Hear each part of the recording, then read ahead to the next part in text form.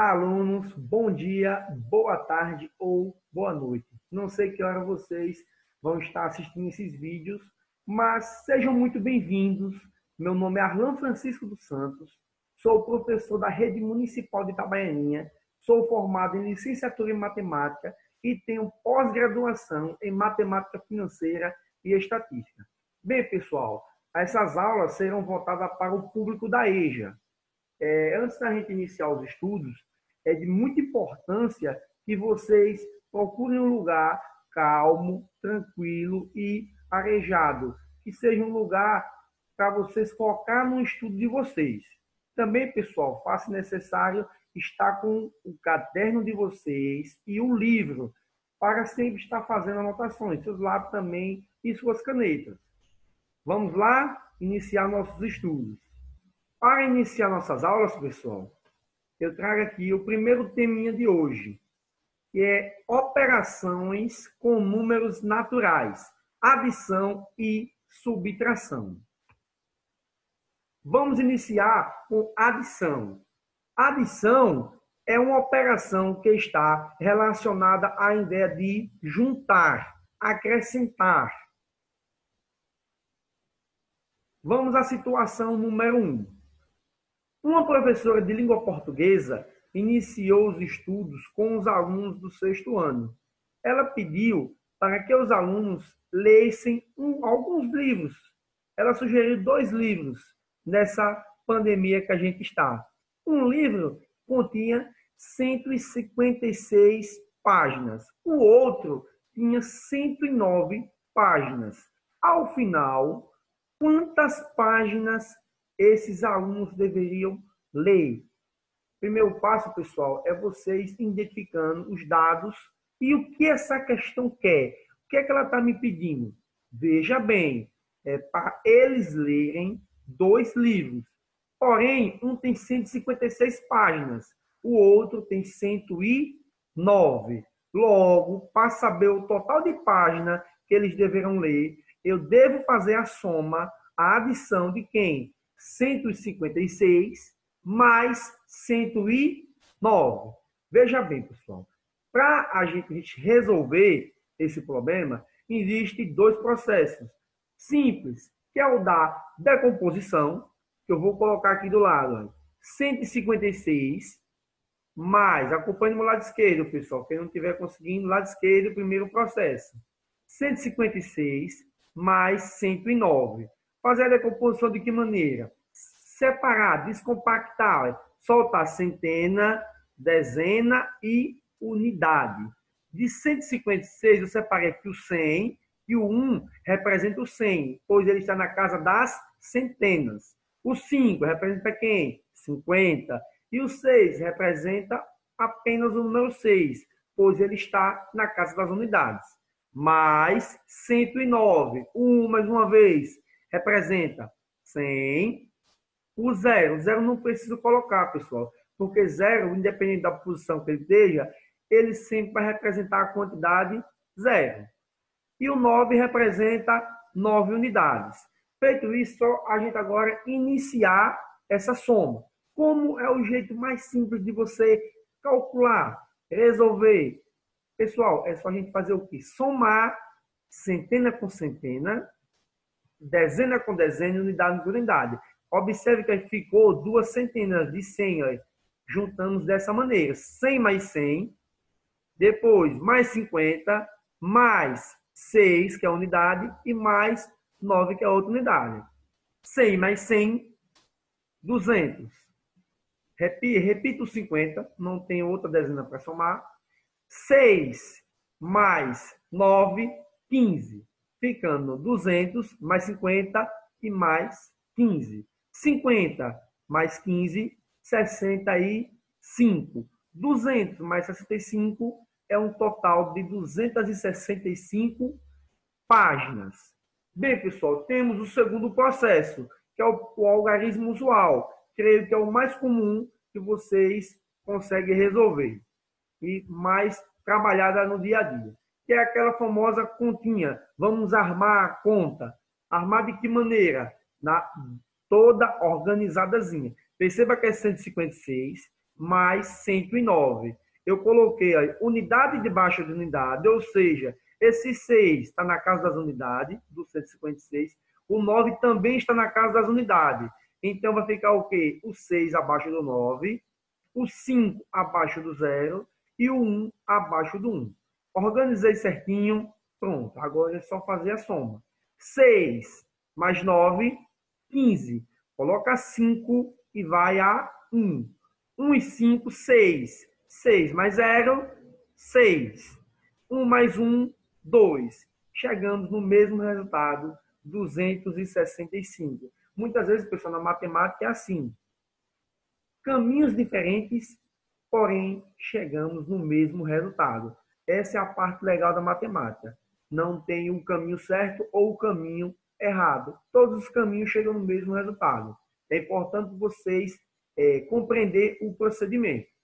Pessoal, vocês podem perguntar, professor, eu posso colocar o 109 em cima e o 156 embaixo? Pode, tranquilo. Com uma conta de adição, eu posso colocar o 156 embaixo, o 109 em cima, ou vice-versa, que não terá nenhuma alteração no resultado. Situação número 2.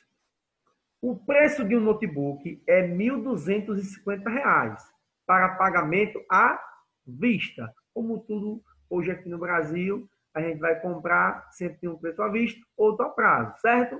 A compra pode ser feita a prazo. Como? Financiado em até 12 prestações iguais.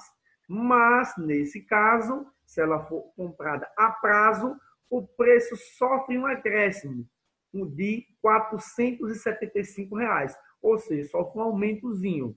A pergunta é, qual o preço do notebook quando comprado a prazo? Bem, pessoal, é uma continha simples. É só pegar o preço que ele é à vista, que é 1.250, e somar com quem? Somar com o aumento, somar com um acréscimo de 475 reais. Podemos fazer de dois passos, dois modos. Primeiro processo, o processo de decomposição, que é onde a gente faz a descompactação. Aqui é 1250, lado esquerdo, mais 475. Do 1250, esse 1 aqui está representando as unidades das milhar. Percebam quando eu falo a minha pronúncia. 1250. O primeiro que eu falo é o mil. Então, esse 1, ele representa mil. O 2, 200. O 5 está na casa da dezena, representa 50. E o zero não preciso colocar ele como unidade. Já coloco no formato da dezena, 50. Mais 475. O 4 representa o 400, na casa das centenas. O 7, na dezena, vai representar 70. E o 5 vai representar 5, hoje está na casa das unidades. Ficando assim: 1.000 mais 200 mais 400 mais 50 mais 70 mais 5. Perceba que eu fiz é, uma junçãozinha para somar ficar mais fácil. E coloquei centena com centena, dezena com dezena, e a unidade eu deixei ela tranquila ali separadinha, porque pessoal tem unidade. 200 mais 400, eu tenho 600. 50 mais 70, eu tenho 120. O mil, pessoal, que eu repeti, pois eu não tenho nenhum número com o caso das unidades de milhar. Ficando mil mais 600 mais 120 mais 5. 600, repito mil mais uma vez. 600 mais 120, 720. Mais 5. Agora eu tenho mil mais 720 mais 5. 1.000 mais 720, 1.720. 1.720 mais 5, 1.725. Ou seja, pessoal, o notebook custará a prazo R$ 1.725. Tem outro processo menor, mais resumido? Temos sim. É o segundo processo, que é o algarismo usual, onde precisamos armar a continha. Colocar um número em cima, o outro embaixo e começamos a somar, desde que obedeça à situação, obedeça às ordens. Que é o quê? Olha, unidade debaixo de unidade, perceba que esse zero não vai ter valor, mas o zero ele está na casa das unidades. Então, ele representa a casa das unidades.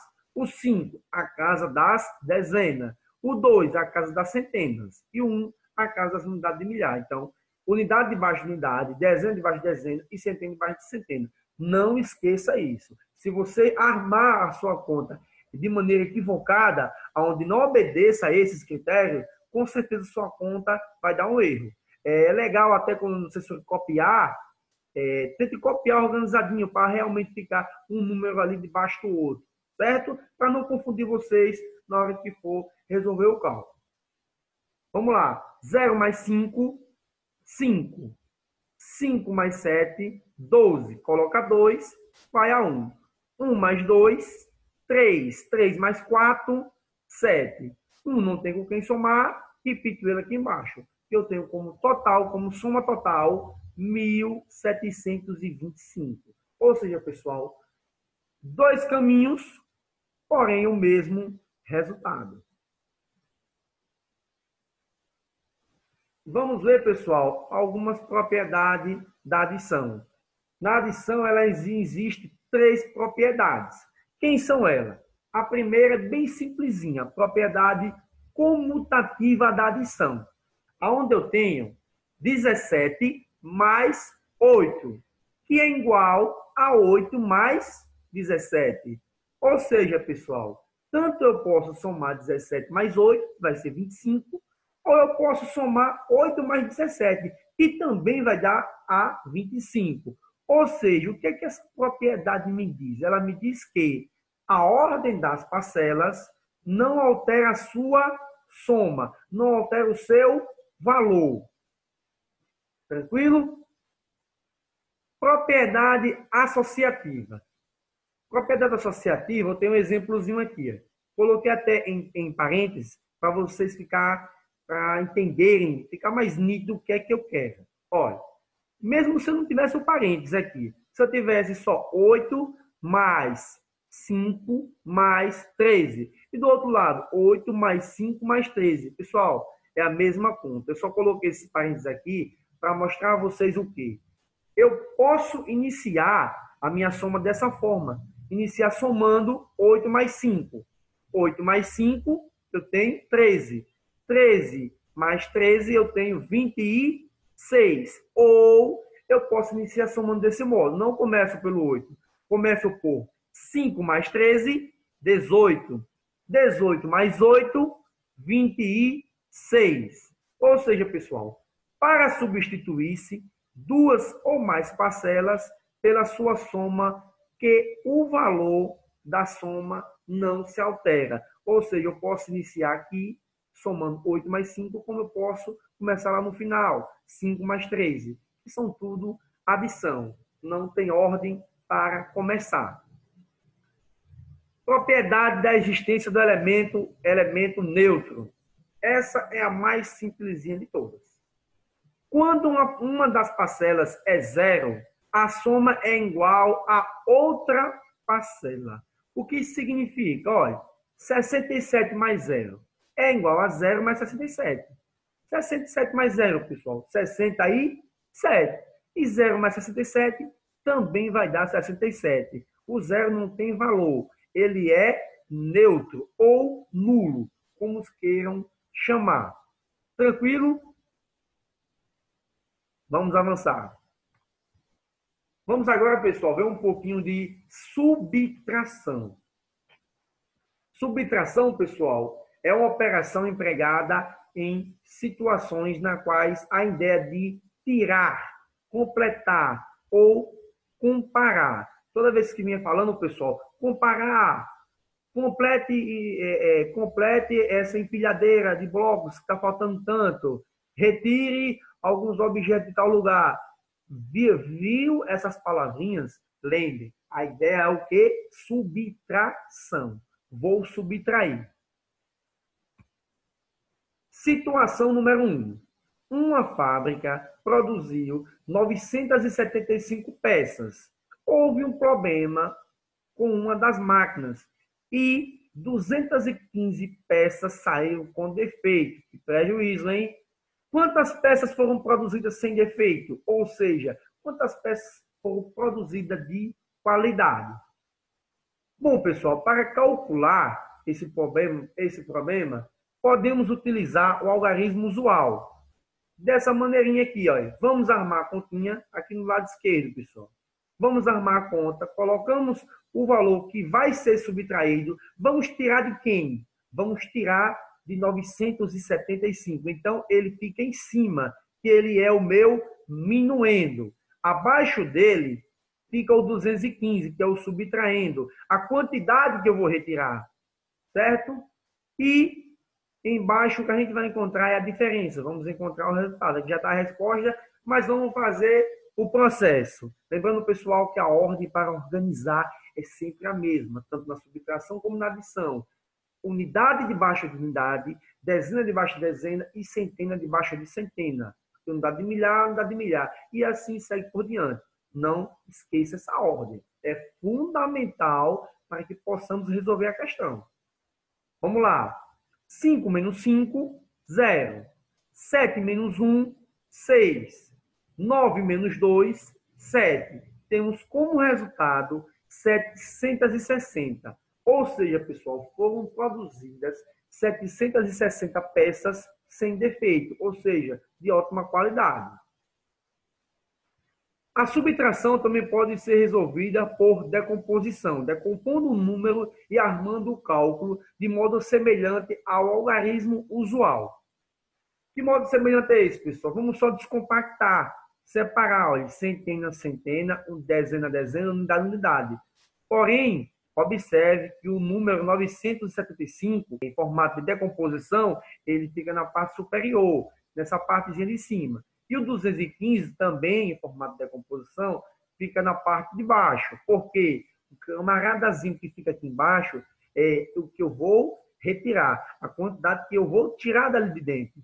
E o de cima é o camaradazinho que vai ser retirado, que é o minuendo. Vamos lá, pessoal organizado, só fazer agora a subtração. Ó. 5 menos 5, 0. 0 menos 0, 0. 7 menos 1, 6. Ou posso fazer todo. 70 menos 10, 60. 900 menos 200, 700. Ou eu posso fazer de 1 em 1. 0 menos 0, 0.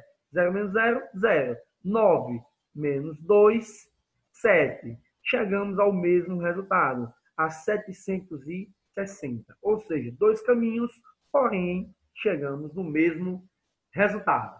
Veja bem, pessoal, na situação na situação 2, temos o seguinte caso. No ano de 2018, havia no Brasil 512 parlamentares na Câmara de Deputados Federais. A Câmara de Deputados Federais é uma instituição responsável pela criação e elaboração de leis. Desses parlamentares, 54 eram mulheres e 458 eram homens. O que é que esse problema quer? Qual a questão? Que é o quê? Quantos homens ocupam o cargo de deputado federal a mais que as mulheres? Ou seja, quantos homens eu vou ter a mais que as mulheres? Separando a quantidade de mulheres e de homens. É uma contazinha simples, pessoal.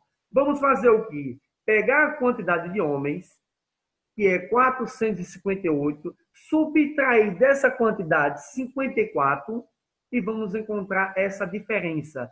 Vamos encontrar a quantidade de homens que a gente tem a mais. Vamos lá? E no lado esquerdo a gente tem a nossa continha armada. Perceba que eu tenho um número, 458, com três algarismos, três números. E abaixo eu tenho 54, que é um número formado por dois algarismos. Mas, pessoal, a ordem continua a mesma. Olha, esse 8 do 458 está na casa das unidades. O 4 está na casa das unidades, 54. O 5 na casa das dezenas, sempre nesse formato. Unidade, unidade, dezena, dezena, centena, centena. Vamos lá. 8 menos 4, 4. 5 menos 5, zero. E o 4 não tem com quem subtrair, repito ele. Simplesinho, já encontramos o resultado. 404. Ou seja, em 2018 havia 404 homens a mais que as mulheres. Tranquilo? Simplesinha essa. Vamos para outra. Situação número 3. A produção mensal de uma orlaria é 5 mil tijolos. Nesse mês, a orlaria produziu 3.925 tijolos. Quantos tijolos ainda falta para completar a produção mensal? O problemazinho ele é o seguinte: temos 5 mil tijolos, mas até o momento só foi produzido 3.925. Quantos tijolos tijolo falta para completar essa produção mensal? É só, pessoal, a gente fazer o processozinho simples. É fazer o quê? Pegar os 5 mil e subtrair a quantidade que já foi produzida. Pegar a quantidade que eu devo produzir, que eles devem produzir, que é 5 mil tijolos, e subtrair a quantidade que eu já fiz, que eu já produzi. Feito isso, a gente vai encontrar o resultado. Está aqui a continha do lado. Vamos lá. 0 menos 5, 5. 0 menos 5, 5. Tem alguma coisa errada aí, pessoal. Tem o quê? 0 menos 5, pessoal, não é 5. Ah, professor, mas aqui embaixo está 5. legal, tá 5 aqui, já está a resposta. Mas 0 menos 5 não é 5, pois 0 não vai subtrair nada. Pense comigo, eu saio de casa sem nenhum dinheiro no bolso. Como é que eu vou perder algo? Se eu não tenho, eu não perco. Mas se eu chego em um lugar, eu preciso comprar é, alguma coisa e eu não tenho dinheiro, só que eu estou com meu coleguinha do lado. O que é que eu faço, pessoal, para poder fazer essa compra, realizar essa compra? Eu faço o quê? Fulano, Joaquim, me empresta aí um dinheiro para eu poder comprar. Eu peço emprestado. Na conta de subtração acontece muito isso. Eu vou pedir emprestado. Esse zero aqui, ele vai pedir emprestado ao vizinho, independente de quanto o vizinho tenha. Vamos pedir emprestado. Eu pego o emprestado, eu fico com 10. Pois esse 1 que eu pego emprestado, ele vem aqui ao lado, ó, fica no formato de 10. 10 menos 5, 5. Agora vamos lá. 0 menos 2, mesmo processo. 0 não tem como subtrair. Pego o emprestado, fico com 10. Porém, esse 0 aqui, ele tinha emprestado 1 ao vizinho, ao lado direito, a esse outro 0. Ele faz o que agora? Já que ele tem 10, devolve, dá, devolve um que ele pegou e fica com 9. 9 menos 2, eu vou ter como resultado 7. 0 menos 9, não subtrai. Pego um emprestado do 5, fico com 10. Emprestei um para esse camarada do lado, fico com 9. 9 menos 9, 0. O 5 emprestou 1, ele fica com 4. 4 menos 3, 1. Pessoal, é muito importante é, é, vocês compreender aqui o seguinte. Eu só posso tomar emprestado do vizinho, sempre do meu vizinho do lado esquerdo. E quanto que eu posso tomar emprestado? Eu só posso tomar um emprestado. Se ele tiver 8, ele vai ficar com 7. Se ele tiver 5, nesse caso aqui, ele fica com 4. Que 4 menos 3, sobrou 1. Então, pessoal, a gente obteve como resultado 1.075. Ou seja, falta 1.075 tijolos para completar a produção mensal. Agora, pessoal, é uma atividadezinha para vocês praticar o que aprenderam. É a cruzadinha da adição. Observe que eu tenho duas tabelinhas. Um lado de, direito, eu tenho essas continhas aqui. Ó. Questão número 1, 50 mais 12. Questão número 2, 29 mais 71. E do meu lado esquerdo, eu tenho a cruzadinha, onde na direita eu vou calcular o resultado. O resultado que der, eu venho cá na esquerda e coloco a resposta por extenso. Professor, não entendi ainda. Vamos fazer aqui na prática. A questão número 11. Eu tenho 0 mais 1. 0 mais 1 é 1. Lembra? Propriedade elemento neutro. Zero somado com qualquer coisa. Como zero não tem valor, o valor é o valor da outra parcela. Zero mais um, um. Ok, encontrei na letra 11 como resultado 1. Escreve aqui o número 1. Volto para o meu lado esquerdo, vou procurar o número 11. Está aqui ele, número 11. Perceba que no número 11, do meu lado esquerdo, na planilhazinha da cruzadinha, ele tem uma setinha aqui no lado direito do número 11. O que significa setinha? Ela está apontando para baixo. Ou seja, o resultado que eu encontrei, eu vou escrever, escrever ele por extenso, descendo aqui, abaixo. E o resultado que eu encontrei na 11? Encontrei o número 1. Então, chego aqui, ó, observe que eu tenho dois quadradinhos. Ó. Eu vou colocar a letra U e abaixo vou colocar a letra M. Só isso. E esse U aqui que a gente já coloca aqui, observe que ele já vai estar na linha aqui do 12. Quando vocês encontrarem o resultado da 12, vocês vão perceber que esse U vai encaixar perfeitamente na nova palavrinha que a gente vai formar. Cruzadinha da subtração. Agora fizemos com adição, vamos fazer com subtração. Dá uma pausazinha no vídeo, pessoal. Vocês copia no caderno de vocês tranquilo, certo? Veja bem, pessoal, o mesmo processo. Lado direito, eu resolvo a continha, faço o cálculozinho, o resultado que deu, coloco eles aqui, pego e vou escrever cá no outro lado por extenso, por escrito, dentro dos quadradinhos. Cada quadradinho desse vai representar uma letra, certo? E para finalizar, pessoal, trago uma reflexão para vocês. Tem uma frasezinha de Albert Einstein. Eu tentei 99 vezes e falhei. Na centésima tentativa, eu consegui. Nunca desista dos seus objetivos mesmo que eles pareçam impossíveis. A próxima tentativa pode ser a vitoriosa. Então, pessoal, quem chegou até aqui, não esquece de dar aquele joinha no like, dá o like, pessoal, que é muito importante para mim. Você dando um joinha, eu estou entendendo que você está gostando dos meus vídeos, está gostando dessas aulas de matemática que estão ótimas. Obrigado, um abraço a todos e até a próxima aula.